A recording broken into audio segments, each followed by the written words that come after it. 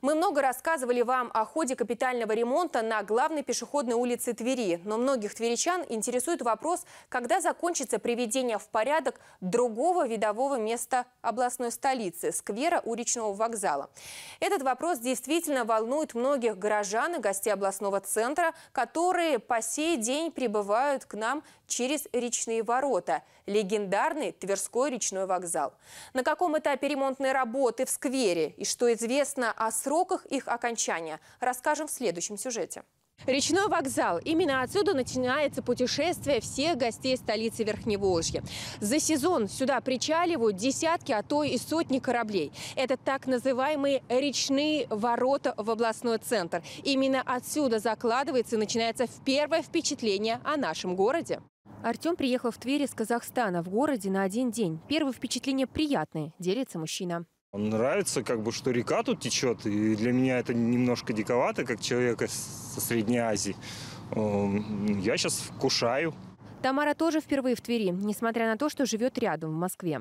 Крупный э, город э, с развитой промышленностью, э, исторические места очень значимые, с Пушкиным связаны, и с нашей церковью православной Борисоглебский монастырь хотелось бы посмотреть. Ну, в общем, памятник Афанасию Никитину хотелось бы посмотреть. Ну, в общем, много хотелось посмотреть. Но сейчас, выйдя с теплохода и пройдя несколько метров, для туристов открывается не слишком приятный вид. Разрытые канавы, пешеходные дорожки, выложенные щебнем. Вдоль них лежат строительные ограждения. Ремонтировать сквер на набережной Афанасия Никитина начали еще весной. Сроки начала и окончания работ здесь постоянно сдвигались. В итоге взялись рабочие за ремонт в мае. Сдать сквер обещали 30 июня. Потом дату сдачи объекта перенесли на август. На календаре уже октябрь, а ВОЗ не там. Тверичане ждут, чтобы место отдыха обустроили устроили до конца и мечтают о том, как еще украсить эту часть набережной. Конечно, ждем, когда все здесь уже будет реставрировано. Можно ну, посадить цветы цветочки, цветочки, цветущие кусты, например, там жасмин, сирень.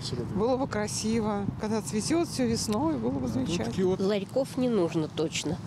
Скамеечки красивые, ну, чтобы дорога была хорошая, не спотыкаться. Похоже, в Твери появился новый долгострой. Мы направили запрос в администрацию города, чтобы узнать о сроках окончания ремонтных работ. Как только что стало известно, администрация Твери расторгнула контракт с подрядчиком. Сейчас идут необходимые организационные процедуры. Поэтому о сроках окончания работ пока говорить, увы, не приходится. Мы будем следить за ситуацией на этом объекте и обязательно расскажем о любых подвижках в следующих выпусках новостей.